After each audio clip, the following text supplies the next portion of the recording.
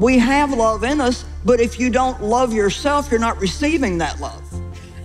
And I'm not talking about being in love with yourself and selfish and self centered. I'm talking about loving the you that God created you to be. Stop talking to yourself about all the stuff that stress you out and start talking to God. Talking to yourself won't do anything, but talking to God will. Causes for stress. I have 16. And I could have kept going, so you know, I'll try not to get hung up too much on these points, so we'll just go through them pretty fast. Guilt, that's a bad one. Hidden sin, poor diet. I decided yesterday, I was tired. I've been working a little more than I like to lately, and I was real tired. You know, sometimes when you're real tired, you want to do something you shouldn't do. Anybody ever notice that?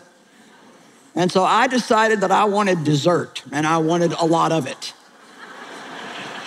and to maintain my size, I have to be, you know, pretty strict. And so I decided I was going to eat dessert and not eat food. I didn't tell you, I didn't tell you because I knew you wouldn't like it. So I got a cookie and I put all this icing on it. And then I had a little ice cream. It was a little bowl of ice cream, but put chocolate sauce on that. And I, I ate that dessert and didn't eat any food. And I got so nervous. It just, the sugar just made me nervous. And I felt terrible after that.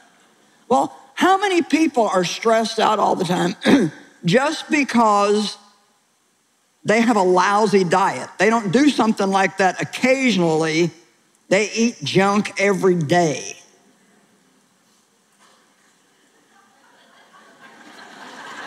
Well, you got a good church. They don't have a problem with anything.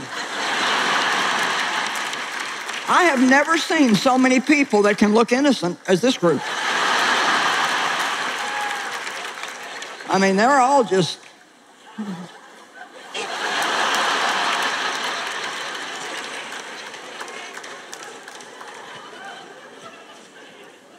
How many of you don't get enough sleep? You know what? I've got an answer for you. Go to bed at night. this really isn't rocket science. How many of you don't drink enough water? Drink some water.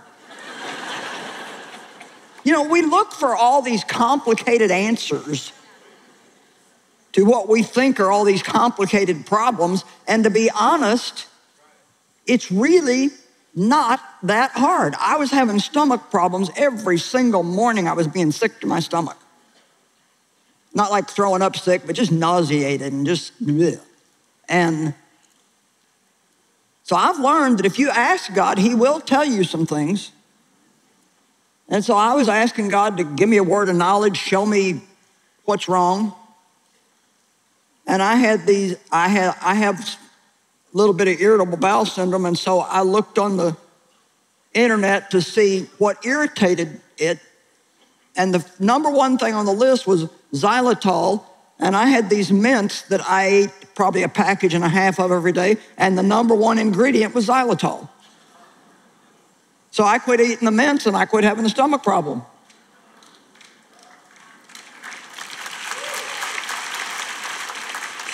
So, just some of you, not all of you, but some of you that feel bad, even, even stress.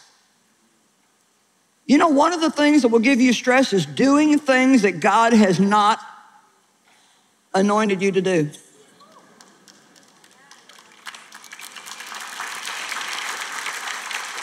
Now, my husband is, I, sometimes I wonder if Dave even knows what stress is. I mean, he's just very peaceful, you know. Easiest guy in the world to get along with. Very patient, very generous in forgiveness, kind. He just is very, just not stressful. And, uh, he was having what he calls the yips, which was really just he was he was felt stressed. He was shaken inside, you know, like inside. Well, he found out he was doing something that he'd been doing for a long time, but God didn't want him doing it anymore. And it took our daughter recognized it and shared with him, and he stopped doing it. The yips went away. So maybe you're just doing some things that God's no longer anointing you to do, and that's giving you stress. Now, I was abused sexually by my dad from the time I was a little, little bitty. And uh, so I grew up with stress. I had stress all my life. I had so much stress, I didn't even know it was stress. So I was always going to the doctor because when you have stress, it'll affect your health. Trying to find out what was wrong with me, and then they would tell me it was stress, and that would make me mad because I didn't even understand what stress was. I thought stress meant you couldn't handle life. And I'm a strong woman, I can handle life. I do not have stress. Don't tell me I have stress. This is not stress. I even had one doctor tell me to go see a psychiatrist. I had one ask me if I wanted to come to these classes that he was doing on changing your thinking. I thought, I wrote the book.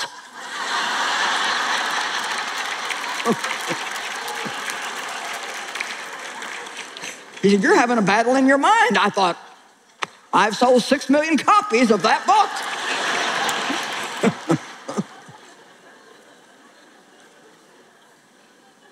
well, if nothing else, you're getting a good laugh tonight. Not enough exercise? Oh, don't talk to me about exercise, Joyce. Okay. Unresolved issues from the past, you know, it's our secrets that make us sick. You know that? No wonder the Bible says, confess your faults to one another that you may be healed and restored to a spiritual tone of mind and heart. Sometimes you just need to sit down with somebody you can trust and just say, I just, I just need to get some things out in the open. It's not, I mean, you don't need to go to a person to get forgiveness. But sometimes we do just need to vent. We just need to talk to somebody, not to complain or grumble, but just to get rid of it. Fear, being codependent. If you're a person who's married to somebody that's hard to get along with and you have to wait to see what kind of mood they're in before you decide what kind of mood you're in, that's being codependent. I had a lot of problems when Dave and I first got married from being abused. And Dave tried for a long time to make me happy, and I didn't know how to be happy. And he finally said, I don't care what I do, you're not going to be happy, so I'm finished trying. But he said, I am going to enjoy my life. And oh, that made me mad. made me so mad because people that aren't happy don't want other people to be happy. But you know, that was one of the best things that he ever did for me. He didn't become codependent on me. He didn't let my mood ruin his mood. He didn't let my lack of joy take his lack of joy. And you know, I don't have time to get into all these things that I would love to get into because it's taken me a lifetime to learn them. But if you are in relationship with somebody, whether it's a real good friend or a parent or a spouse or a child that is determined to be unhappy, don't let them steal your joy because you are not helping them by doing that.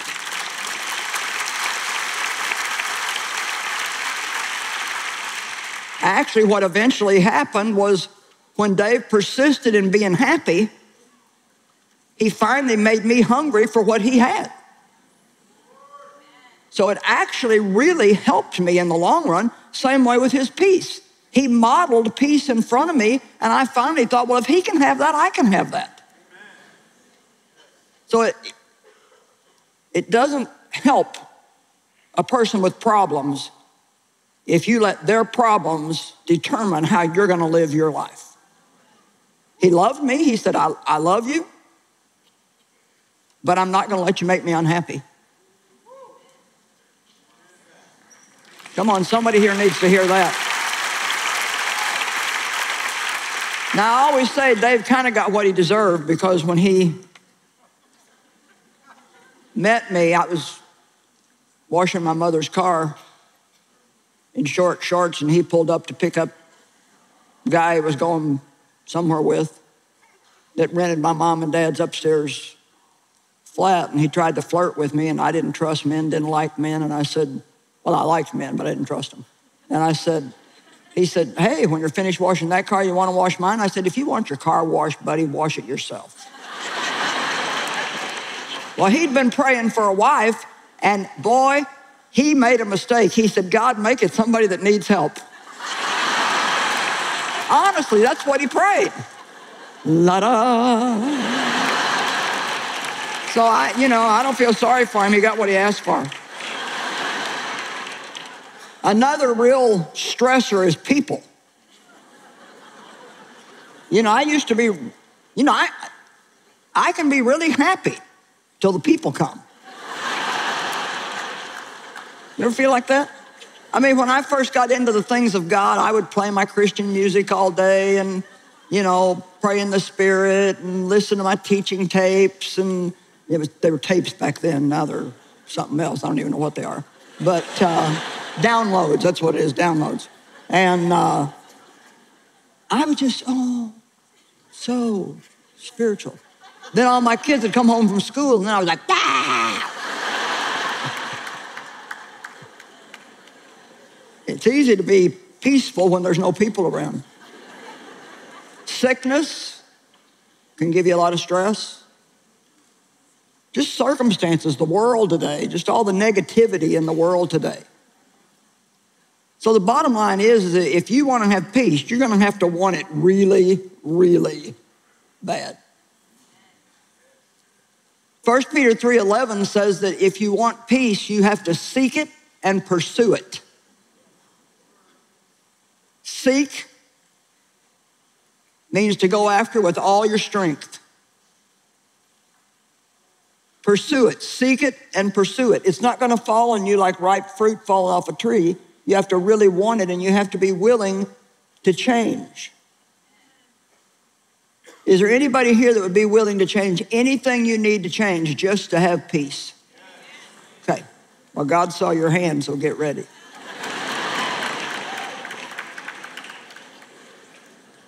But I love what it says in the Amplified Bible in 1 Peter 3:11 it says that if you want to enjoy life and have good days, good whether apparent or not, turn from evil and do good.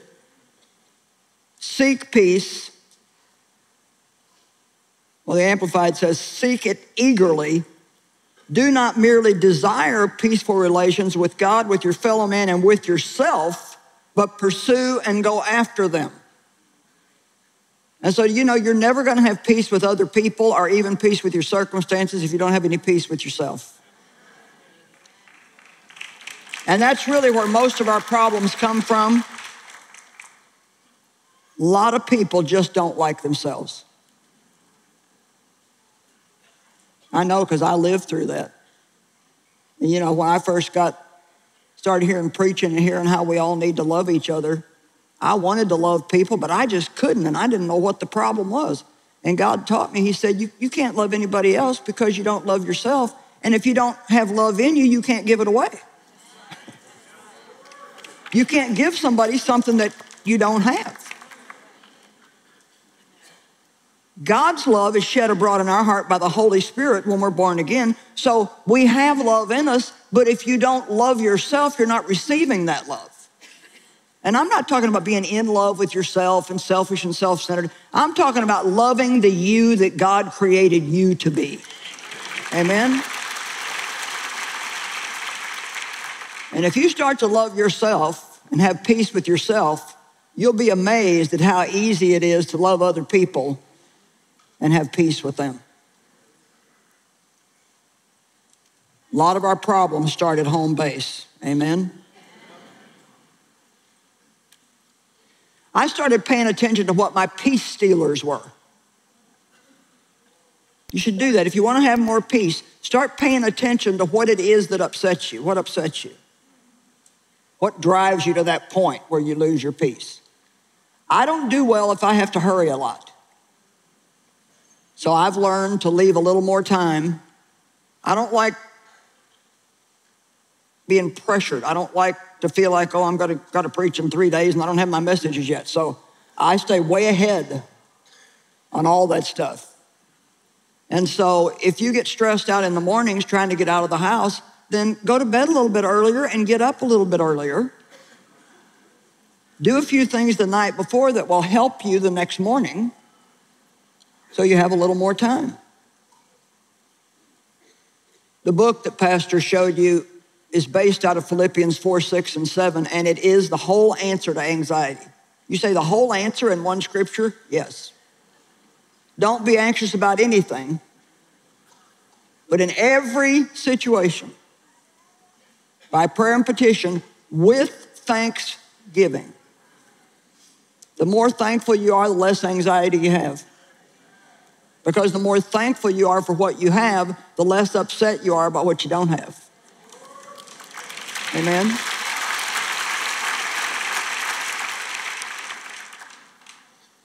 Present your request to God, and the peace that passes understanding will keep your hearts and minds in Christ Jesus unto life everlasting. So, in that book, I do it in four parts. And I talk about the anxiety, that every situation, be thankful. Pray about everything. Your first response to everything should be to pray. And then peace, how valuable peace is. Amplified Bible says in Colossians 3:15 that we should let peace be the umpire in our life. And we all know what an umpire is. He decides whether something's in or out. And we should let peace be the umpire in our life, deciding whether something is in or it's out. If I can't do it with peace, then it's not from God. Amen. A foolish person recognizes his problem and refuses to do anything about it, the Bible says. They want somebody else to do it for them. Somebody else should fix this. Don't blame the world or the people in your world. Take responsibility for your own peace and start asking God, what can I do about this? Let me remind you about what I said in the beginning. Make a list of everything you're doing and then honestly look at each one and say, what kind of fruit is this bearing in my life? And even better, ask yourself what your motive is for doing it. If you're doing it just to keep somebody else happy, you know what I found out? I lived a portion of my life. There was a church that we were going to, and I wanted to be in with a certain group of people. In order to do that, you had to have favor with this one certain woman. And in order to get that, you had to do everything she wanted you to do. And you know what I found out?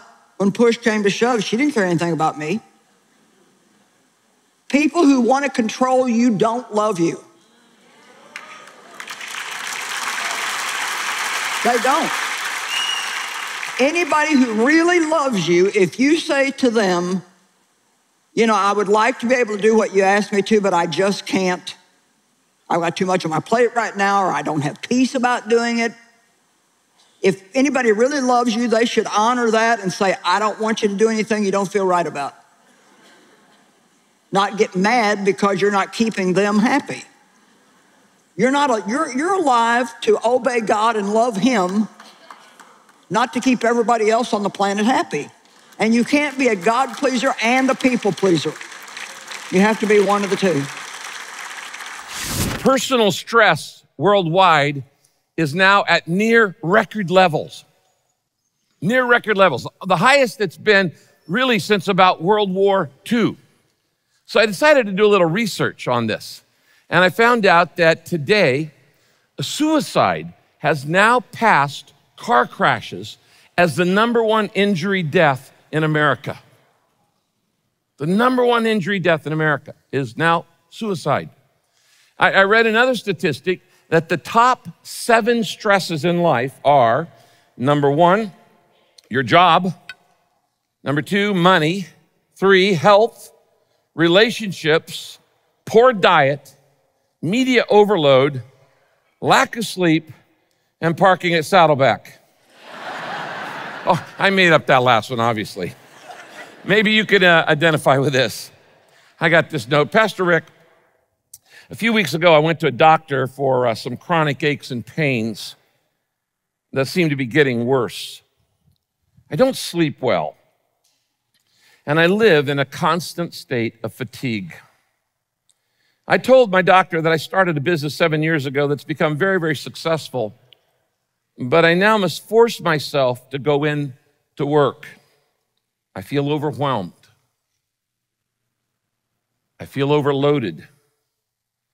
So my doctor asked me to list the stresses in my life and then think up some possible ways to reduce those stresses and then write down a plan of attack. I'd like to know what the Bible says about stress management. I hope you're in the service today. Because today we're going to look at the classic text in the entire Bible on how to keep from stressing out. We've been in this series through the book of Philippians, and as we come to chapter four, Paul gives us in verses six to 13 the classic anti stress management recipe. If you have a Bible, you can open to Philippians chapter 4. If you didn't bring a Bible, that's okay. Just pull out these notes. All the verses we're going to look at are inside uh, your bulletin on this text passage uh, outline. Now, the key uh, to this is that this passage actually comes with a stress management guarantee.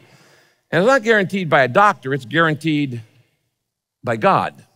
So you really want to pay attention to this one if you want to lower the stress in your life.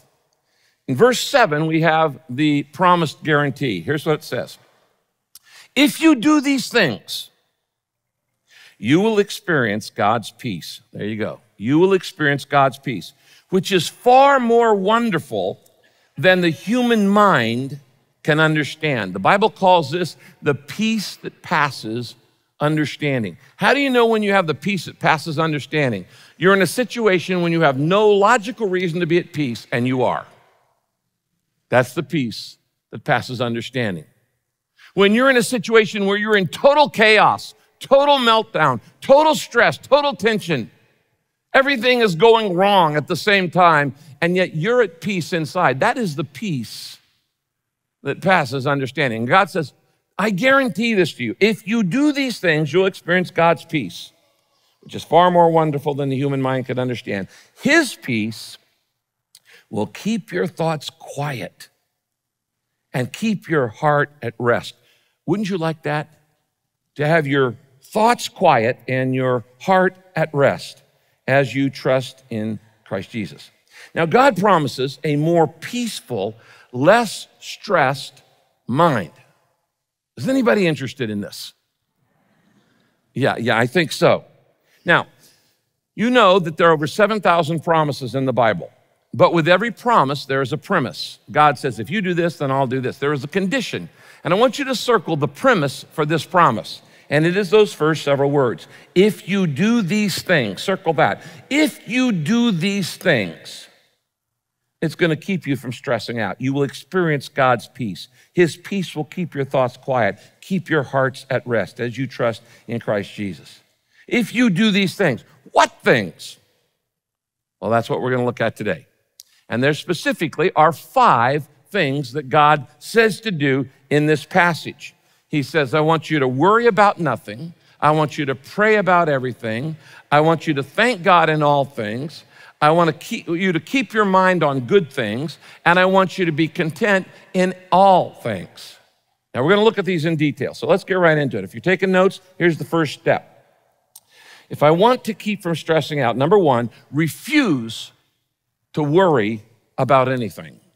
Refuse to worry about anything. Why? Because the number one source of stress in your life is not work, it is worry. You may be overworked, but it's more likely you are overworried. Work doesn't keep you up at night, worry does. And most of you are overworried. Now, God is very clear in the Bible what he thinks about worry. And that's the first verse. Verse six, the first part of the first verse, verse six, Philippians 4, it says this Never worry about anything. Now, circle never and circle anything. Never worry about anything. Question Is there any wiggle room in that verse? No. Is there any exception? No.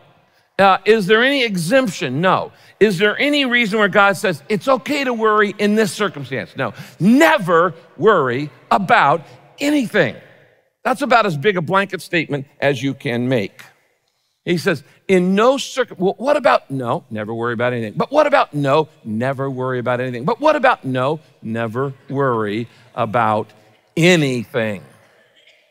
Now, now Jesus thought worry was such an important topic that he spent a major section of his most famous sermons called the Sermon on the Mount talking about worry. And in that Sermon on the Mount, he gives us the four reasons you should never worry about anything. You might want to write these down. Number one, Jesus says about worry worry is unreasonable. It's illogical, it is unreasonable, it doesn't make sense. In verse chapter, uh, Matthew 6 25, Jesus says this Don't worry about your life. Don't worry about your life, what you'll eat or drink, or about your body, or what you wear. Is not life more important than food?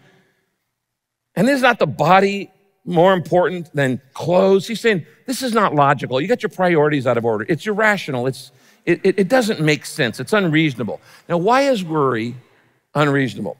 Well, there's a couple reasons. First, because worry exaggerates the problem. It never makes the problem smaller, it always makes it bigger. Have you noticed somebody says something bad about you, the more you think about it, the bigger it gets? Or you got a problem, you start worrying about it, the more you worry about it, does the problem shrink with your worry? No, it always gets bigger. Worry exaggerates, it's irrational, it's unreasonable, it makes it bigger, it grows the problem out of proportion. And not only does, is worry exaggerating your problem, worry doesn't work. It never has worked. It is worthless. It is stewing without doing. It doesn't make any difference in your life. You see, to worry about something you can't change is useless. And to worry about something you can change is stupid. Just go change it. In either case, worry is not the answer. Worry doesn't work. It's un reasonable. Second, uh, Jesus says worry is unnatural. It's unnatural. Why? Because in the entire universe, the only creations of God that worry are human beings. Birds don't worry, cows don't worry, dogs don't worry, cats don't worry. Cats create worries, but they don't worry. Worry is unnatural. What do I mean by that? Because you weren't born with it. There are no born worriers. You might think you are, but you're not. You're not a born worrier. You learned it. Worry is something you learn. Now, the good news is if you learn to worry, it can be, yeah, unlearned. Now, you learned it, and actually, to get good at it, you got to practice it. Some of you are pros at worry. You have practiced it so much. You are so good at worrying. You are, I mean, you get the PhD. If you were, if they had Olympics on worry, you'd get a 10. Okay? Because you have practiced it so much. But it's learned. Worry is not natural. No baby is born worrying. They pick it up from everybody else. Now, Jesus says in Matthew 6 26, look at the birds of the air. They don't sow or reap or store away in barns, and yet your heavenly Father feeds them. Are you not much more valuable than they? If anybody's on God's welfare program, it's birds. They don't do anything except birdie things. Tweet, that's it. Well, I tweet, but maybe, yeah, maybe they tweet too. Look at the birds of the air. They don't sow or reap, but he says, Your heavenly Father feeds them. Notice your heavenly Father. He's not talking about the bird's heavenly Father. He's saying your heavenly Father. Now, if God is your heavenly Father and you are his child, children get special privileges and children of royalty are treated royally. And he says, What are you worrying about? Birds don't worry, and they're not even, God's not their father. God's their creator, but not their father. God's your father. Don't worry about it. He says, Birds don't worry, animals don't worry. Verse 28 and 29, Jesus says, And why do you worry about clothes? And why do you worry about clothes? Look at the lilies of the field, the field lilies. They, they don't worry about theirs. Yet King Solomon, in all his glory, was never clothed as beautifully as they are. He's saying, in all of God's creation, in the entire universe, only human beings worry. Animals don't worry, plants don't worry. We are the only thing God made that doesn't trust Him. Your body wasn't designed to handle worry. It wasn't designed. When people say, I'm worried sick, they're telling the truth. And, and doctors say a lot of people could leave hospitals today if they knew how to get rid of guilt, resentment, and worry, because that's what puts most people in. And see, what I'm saying is, it's not so much what you eat, it's what eats you. It's what eats you that makes you sick. It's the worry in your life. It's not just unnatural, it's unhealthy. It causes all kinds of health problems. Let me show you a couple verses up here on the Bible, on the screen. The Bible says this Proverbs 12 25. An anxious heart weighs a man down. Well, you know that one. And you feel like you're just pulled down by the worries. You know, the, the word worry actually comes from an Old English word which means to strangle or to choke. That's what worry comes from to strangle or choke. And when every time you worry, you are strangling and choking the life out of your life. An anxious heart weighs a man down. Look at the opposite on here on the screen. Proverbs 14 30 says, But a heart at peace gives life to the body. You want to be healthier? You need to stop worrying. Never worry about anything. Why? It's unreasonable and it's unnatural. The third thing Jesus says, it's unhelpful. It's unhelpful. Worry cannot make you one inch taller. Worry can't make you one inch shorter. Worry can't take 10 inches off my waist. If it could, it would have. Worry cannot lengthen your life. It, it, can shorten your life, though. We know that. Worry cannot change the past, and worry cannot control the future. All it does is make today suck. It messes up today. That's all it does. It doesn't change the past. It can't change control the future. It just messes up today. It's kind of like sitting in a rocking chair. You expend a lot of energy, but you don't make any progress. You're just, it's, it's useless. The only thing that worry changes is you. It makes you miserable. Doesn't has never solved the problem. It's unhelpful. And then the fourth reason why the Bible says never worry about anything is because it's unnecessary. God says, What in the world are you worrying about? Don't you think I'm going to take care of you? Don't you think I'm going to meet your needs? I made you, I created you, I saved you, I love you, I put my spirit in you. Don't you think I'm going to take care of your needs? It's unhelpful, but it's also unnecessary. There's no need to worry. Jesus says this in Matthew 6:30. You know, if God cares so wonderfully for flowers that are here today and gone tomorrow, think of all the beautiful flowers that are never seen by human beings, but God takes care of them. He said, If God cares so wonderfully for flowers that are here today and gone tomorrow, won't He most surely care for you, oh, you of little faith? You're as happy as you choose to be. If you're unhappy, it's because you're choosing to be unhappy. Don't blame your husband, your wife, or anybody else.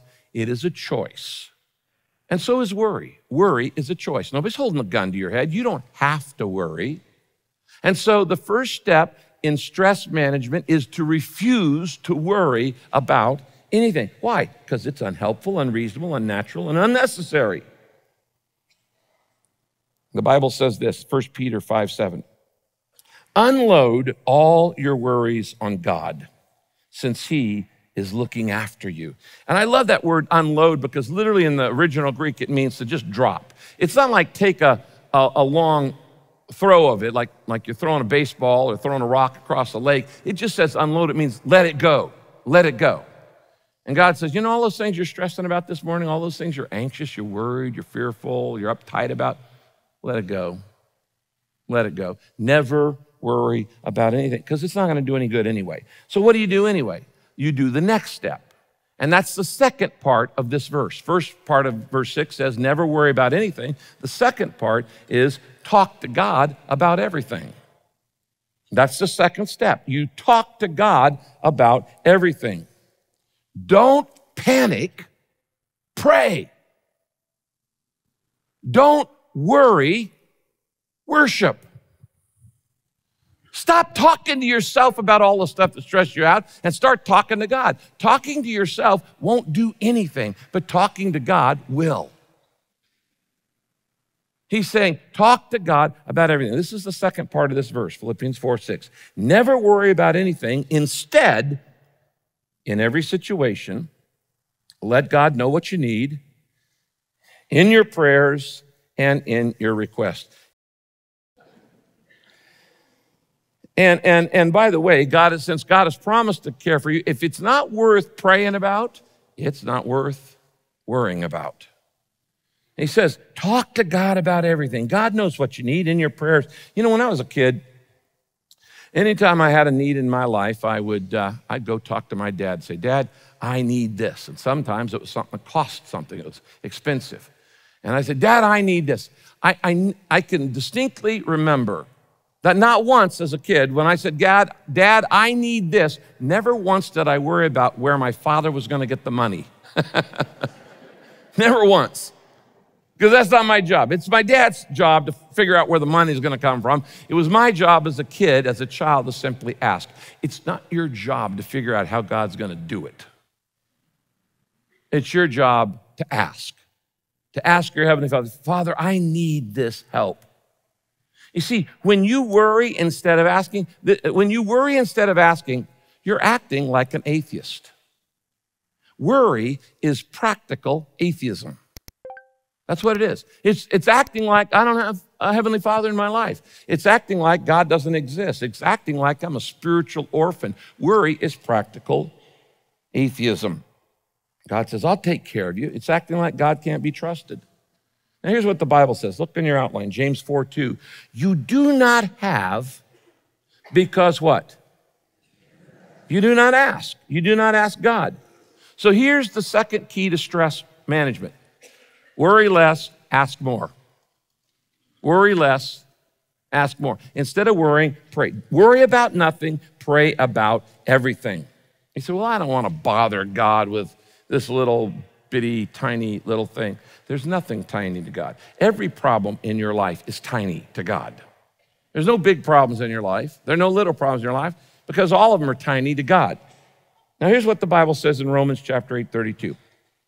Since God did not spare even his own son, Jesus, but gave him up for us all, he died on the cross for us, won't he give us Christ who won't he who gave us Christ also give us everything else we need? What's he saying here? Follow the logic.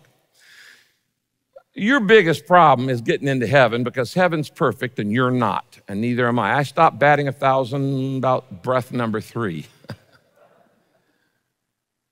and so God came up with plan B. He came to earth in human form, and He said, I'll live a perfect life and I'll die for you, and you can get into heaven on my ticket. It's grace. I don't work it, I don't earn it, I don't deserve it, I don't buy it. It's just grace.